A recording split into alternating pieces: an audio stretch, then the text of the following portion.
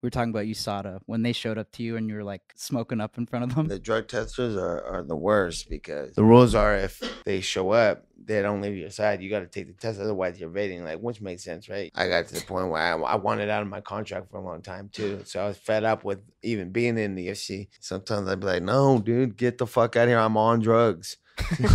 Get the fuck Like, out of here." I don't even need to take. I don't want to test, test. Oh. Tell them I'm on drugs. They start laughing. Huh? I'm like, dude, so I got to sit there with these people. No matter what's going on, you can't shake them.